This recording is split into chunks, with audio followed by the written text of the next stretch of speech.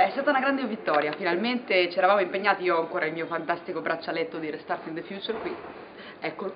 e ci eravamo impegnati proprio come primo passo a creare un intergruppo che si occupasse di criminalità organizzata e di corruzione dentro il Parlamento europeo. L'intuizione è stata quella di lavorare insieme a Transparency che aveva fatto un suo appello invece sui temi appunto della corruzione e della trasparenza e di dire mettiamo insieme gli sforzi e i parlamentari che avevano preso questi impegni per creare questo intergruppo. Con l'aiuto di molti colleghi che hanno firmato in supporto dell'intergruppo e con l'aiuto ovviamente dei gruppi politici che hanno deciso di eh, supportare la, la costituzione dell'intergruppo, finalmente l'intergruppo è una realtà. Ora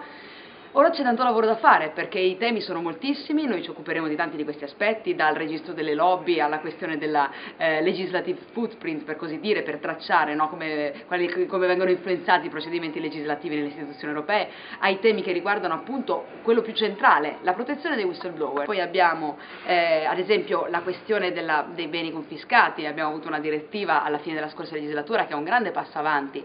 però non basta, però ci sono parti di quella direttiva che andrebbero rafforzate e soprattutto soprattutto bisogna eh, vedere l'implementazione a livello statale di questa direttiva che appunto in alcuni casi eh, sarà interessante vedere se porterà una, un po' di quella strumentazione italiana che noi abbiamo sviluppato nei nostri anni, purtroppo per fortuna abbiamo la, norma, la normativa più avanzata su questi temi a livello europeo e cerchiamo di metterla a disposizione se siamo Unione Europea anche degli altri Stati membri, quindi eh, ci sono diverse cose da fare, l'intergruppo servirà da un lato a stimolare il dibattito su questi temi, a far crescere la sensibilità anche tra altri colleghi di altri paesi che magari soprattutto sul tema della criminalità organizzata hanno eh, meno competenza meno a fondo il fenomeno e poi di spingere insieme per delle proposte concrete, delle proposte forti su tutti questi aspetti. Ehm, un'altra cosa importante da dire è che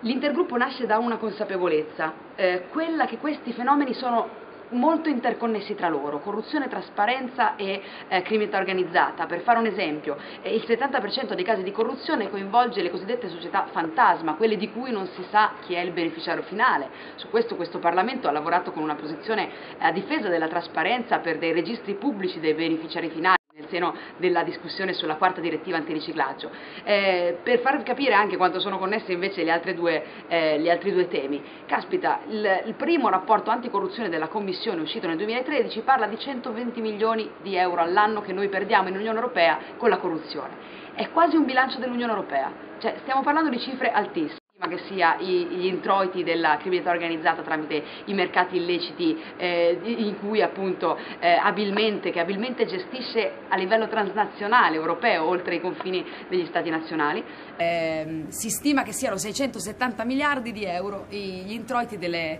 della criminalità organizzata a livello europeo tramite i mercati illeciti in cui riesce eh, a infiltrarsi e che riesce a gestire così bene, con grande dinamismo a livello transnazionale. Il punto è proprio quello, lo si diceva con Don Ciotti il 9 di dicembre proprio in questo Parlamento quando è venuto per la giornata internazionale contro la corruzione e diceva eh, la mafia si è globalizzata molto in fretta, allora sta a noi riuscire a globalizzare gli strumenti di contrasto alla mafia, altrimenti in questa lotta rimarremo sempre un passo indietro, quindi lo scopo dell'intergruppo è anche un po' questo, far capire che questi sono fenomeni globali, sono fenomeni europei, non sono fenomeni solo italiani o spagnoli o francesi e per questo è in, questa, in queste case, in queste istituzioni che dobbiamo insieme sviluppare degli strumenti di contrasto più efficaci.